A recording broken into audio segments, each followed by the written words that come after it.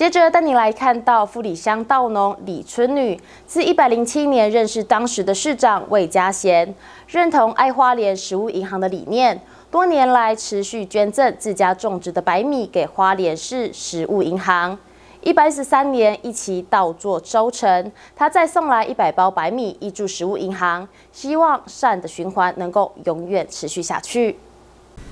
富里乡稻农李春女开车载来了一百包的白米，捐助给爱花莲食物银行。这是一百零七年他认识当时的花莲市长魏家贤所结下的善缘。因为就是一百零七年我就开始捐米了，哎，那时候因为马拉松。哦，太平洋马拉松跟市长认识，哎，啊，然后市长那时候九月成立的那个食物银行，那时候我就每半年一起收割的时候，我自己就有留下谷子，然后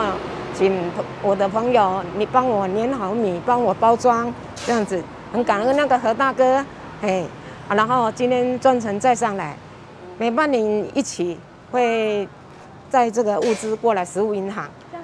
一百一十三年一起到收成，李春女继续送米到花莲市，先院魏家贤非常感动。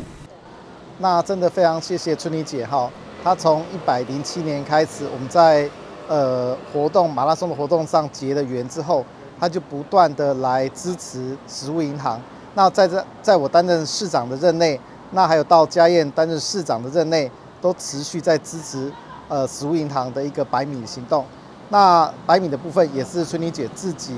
种、自己碾，然后自己送过来。那米都是非常非常新鲜的。那我们再次要感谢这么多社会大众支持所有被需要关怀的朋友们。那我们未来也会持续的找更多的社会资源，共同来协助需要帮助的朋友。除了感谢李春女的爱心，魏家贤也关心南区灌溉用水的问题，并表示会寻求相关单位来重视农民的议题。